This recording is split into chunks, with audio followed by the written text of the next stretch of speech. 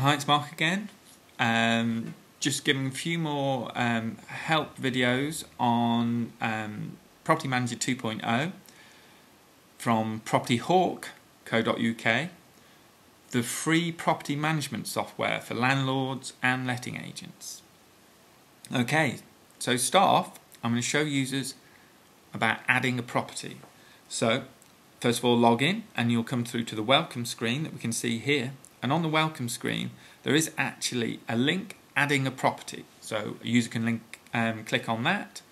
Or alternatively they can go up to the management uh, tab summary option and click on that. And they'll see that at the top of the screen there is a link here for adding an address. So I'm going to go that way. So add an address. Okay it's asking me for some uh, property details, I'm going to quickly knock in 23 Not Really Street. I've already got it ready to put in Birmingham um, and a postcode. I'll put a made up postcode in there.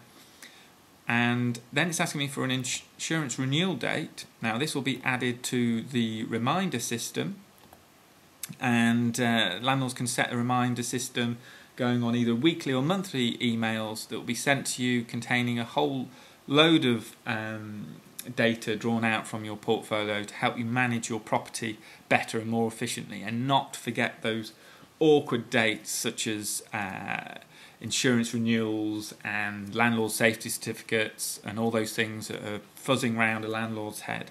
So that's going to be added to the reminder system. I'll show you how to use that in another video.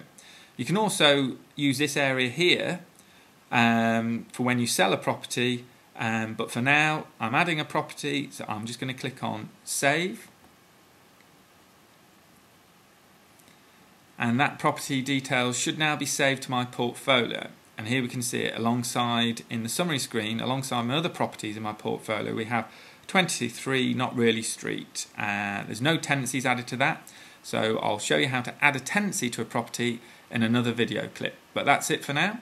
I hope that was useful, and um, as I say, I'll show you how to do some of the things in the other video clips. So just look through the help menu.